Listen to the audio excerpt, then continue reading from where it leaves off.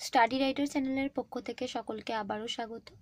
আজ আমি অষ্টম শ্রেণির রায় মার্টিন প্রশ্নবিচিত্রা দু হাজার একুশ এই বইটি থেকে পেজ নাম্বার একশো তিরিশের পরিবেশ ও বিজ্ঞান বিষয়ের প্রথম পর্যায়ক্রমিক মূল্যায়নের মধ্যশিক্ষা পর্ষদ প্রদত্ত নমুনা প্রশ্নপত্রটি আলোচনা করে দেব।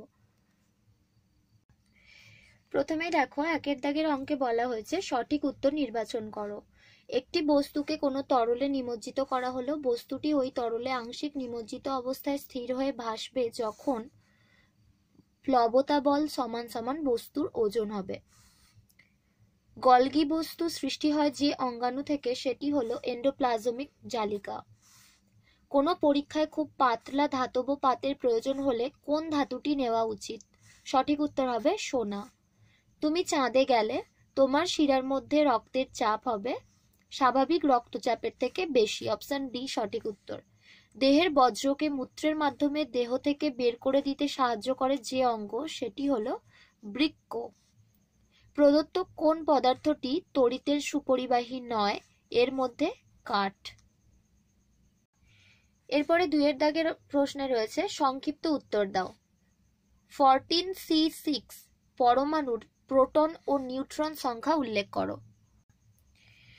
ফরটিন সি সিক্স এই যে পরমাণুটার কথা এখানে বলা হয়েছে, এই পরমাণুটার প্রোটন সংখ্যা নিউট্রন সংখ্যা আমাদের বের করতে হবে। তো তোমরা মনে রাখবে, এই যে পরমাণুটা দেওয়া আছে এখানে, তো এই পরমাণুটার নিচে যে সংখ্যাটা রয়েছে, এটা হচ্ছে তার প্রোটন সংখ্যা বা ইলেকট্রন সংখ্যা।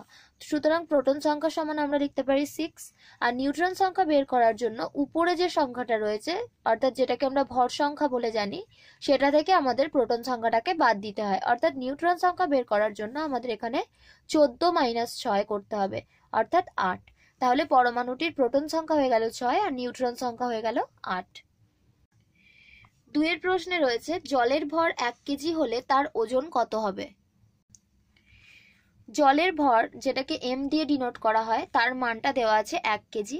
আর অভিকর্ষ যে ত্বরণ, অর্থাৎ পৃথিবীর যে টান, তার মানটা অর্থাৎ জি সমান দেওয়া আছে নয় দশমিক আট মিটার পার সেকেন্ড স্কোয়ার। এখানে প্রত্যেকটাই কিন্তু এসআই এককে নেওয়া আছে। সুতরাং আমরা যে জলের ওজনটা বার করব, সেটাও আমাদের এসআই এককে বার করতে হবে। আমরা জানি ডব্লিউ সমান সমান হচ্ছে এম ইন্টু জি সুতরাং এম মানে এক আর জি মানে নয় দশমিক আট। এই দুটোকে যদি আমরা গুণ করে দিই, তাহলে এখান থেকে আমরা পেয়ে যাব নয় দশমিক আট নিউটন।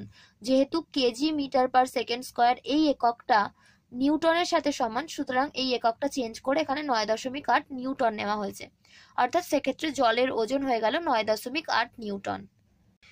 এরপর তিনের দাগের প্রশ্নে রয়েছে, খুব শুকনো ও ঠান্ডা পরিবেশে বসবাসকারী প্রাণীদের অ্যান্টিফ্রিজ প্রোটিন কীভাবে সাহায্য করে? কোষীয় তরলে বরফের কেলাস তৈরিতে বাধা দিয়ে সাহায্য করে। এরপরে তিনের দাগের প্রশ্ন রয়েছে, একটি বা দুটি বাক্যে উত্তর দাও। একটি টেবিলের ওপর একটি বই রাখা আছে, বইটি স্থির অবস্থায় আছে, তার উপর ঘর্ষণ বল কত পরিমাণে কাজ করবে? তো এখানে যেহেতু বইটা স্থির অবস্থায় আছে, তো এক্ষেত্রে ঘর্ষণ বলের মানটা হয়ে যাবে জিরো। সর্ষের তেল জলের ওপর ভেসে থাকে, তাহলে জল ও সর্ষের তেলের মধ্যে কার ঘনত্ব বেশি? যেহেতু সর্ষের তেলটা ভেসে থাকে, তাই সর্ষের তেলটা হালকা, তাই এর ঘনত্ব কম আর জলের ঘনত্ব বেশি। অর্থাৎ প্রথম ক্ষেত্রে যেটা ছিল, ঘর্ষণ বলের মানটা জিরো আর দ্বিতীয় ক্ষেত্রে হচ্ছে সর্ষের তেল জলের ওপরে ভেসে থাকে, তাই জলের ঘনত্ব বেশি। দুইয়ের দাগের প্রশ্নে আছে, লোহিত রক্তকণিকার আকার গোল আর দুপাশ চ্যাপ্টা আকৃতির মতো হওয়ার কারণ কি? বিভিন্ন ব্যাসে রক্তনালীর মধ্য দিয়ে লোহিত রক্তকণিকার যাতায়াতে ও বেশি পরিমাণ অক্সিজেন পরিবহনে সুবিধার জন্য এদের আকার গোল ও দুপাশ চ্যাপ্টা আকৃতির মতো হয়। এরপর তিনের দাগের প্রশ্নে রয়েছে মার্কিউরাস ক্লোরাইড ও ক্যালসিয়াম ফসফেটের সংকেত লেখো। কার্বনের যোজ্যতা চার ও ক্লোরিনের যোজ্যতা এক হলে কার্বন টেট্রাক্লোরাইডের সংকেত লেখো ও অণুর প্রাথমিক গঠন কেমন হবে এঁকে দেখাও। প্রথমেই রয়েছে মার্কিউরাস ক্লোরাইডের সংকেত। এর সংকেত হবে এইচ জি টু ক্যালসিয়াম ফসফেটের সংকেত হবে CA three PO four whole two এরপর দেওয়া আছে কার্বনের যোজ্যতা চার। কার্বনের চিহ্ন হচ্ছে সি যোজ্যতা চার। আর ক্লোরিনের চিহ্ন হচ্ছে সিএল যোজ্যতা হচ্ছে এক। তো এইভাবে চিহ্ন আর যোজ্যতা থেকে আমাদের সংকেত নির্ণয় করার পদ্ধতি হচ্ছে যোজ্যতাটা এক্সচেঞ্জ হবে। অর্থাৎ কার্বনের যোজ্যতার নিচে কার্বনের নিচে আসবে ক্লোরিনের যোজ্যতা আর ক্লোরিনের নিচে বসবে কার্বনের যোজ্যতা। অর্থাৎ আমরা এইভাবে লিখব C one C L four সমান সি এর নিচে ওয়ানটা লিখতে হয় না, তাই এটাকে একেবারে লেখা যায় সি সিসিএল ফোর এটাই হলো কার্বন টেট্রাক্লোরাইডের সংকেত। যার এখানে অণুর গঠনটা দেওয়া আছে, দেখো। সি মাঝখানে কার্বন থাকবে আর তার চারিদিকে চারটে সিএল থাকবে। এটাই হচ্ছে কার্বন টেট্রাক্লোরাইডের অণুর গঠন।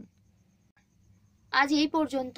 আশা করি আজকের ভিডিওর মাধ্যমে আমি তোমাদের একটু হলেও উপকার করতে পেরেছি। আজকের ভিডিওটি যদি তোমাদের ভালো লেগে থাকে, তাহলে অবশ্যই ভিডিওটিতে একটা লাইক দিও। আর পড়াশোনা সংক্রান্ত এরকম আরও অনেক ভিডিও পেতে বিনামূল্যে আমাদের চ্যানেলটি সাবস্ক্রাইব করে পাশে থাকা বেল আইকনটি প্রেস করো। আর বন্ধুদের সাথে শেয়ার করতে ভুলো না। Thanks for watching